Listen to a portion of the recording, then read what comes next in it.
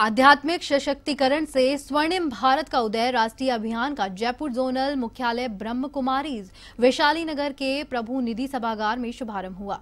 इस मौके पर सांसद Rajyavardhan Singh Rathore, Rajasthan vice chancellor doctor Alpana Katej, RUSH के प्रमुख डॉक्टर सुधीर भंडारी, राजयोगिनी गोपी दीदी ब्रह्म कुमारी जयपुर सब जोन की प्रभारी राजयोगिनी सुषमा दीदी ने दीप प्रज्वलित कर समारोह का आगाज़ किया।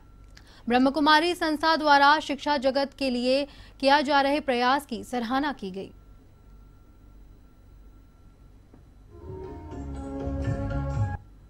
Compliments देता हूँ। I compliment uh, Brahma Kumaris for coming up with this fantastic initiative which is the नौकरी पाना है। इसलिए वो उसको जैसा कि रट्टा मारना कहते हैं उसको बहुत ही याद करके और वहाँ पे जिसको रीगुर्जिटेट करना कहते हैं या कैरेक्टर हमारी धारणाएँ ऐसी होती है कि बच्चे या स्टूडेंट कैच करते हैं। धारणा तो एक बहुत सूक्ष्म चीज़ होती है।